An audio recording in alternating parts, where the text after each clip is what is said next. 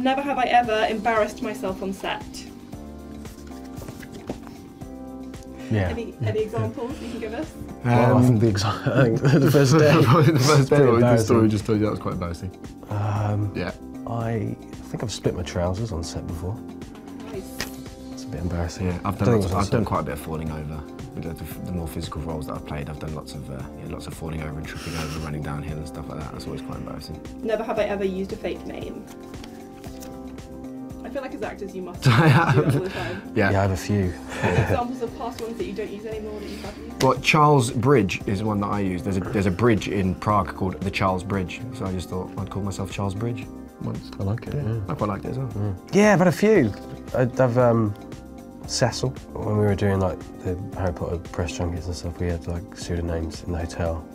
I was uh, Mr. SpongeBob. Never have I ever kissed a stranger. I think I probably have. I have, yeah. I have. Well, like Yeah. kissing Well, like cheek. passionately kissed, do you mean? Have you interpreted it however Oh right. Oh yeah. Well, I've definitely yeah, I've definitely kissed strangers. before, Yeah, yeah. Never have I ever blamed something I did on someone else. No, I've done that as well. Oh, yeah, I've done. I've definitely done that quite a few times. Any examples you can give us? I feel My like it when happens I- so often. Like I've kind of lost track of specific examples. Someone found cigarettes on me in my bag basically, and I told I blamed it on one of my friends that they knew smoked anyway. So I was like, you know, they're his. So I got- got off the hook. And I don't think I don't think he would have minded anyway, if I'm honest. um, and he didn't. I don't even know if he knows to this day that I blamed it on him. If I'm. But your mum's now know that you No, lied. tell- No, I actually no. don't think it was my mum. I actually don't think it was my mum. I think it was somebody else. don't know who it was. Definitely wasn't my mum.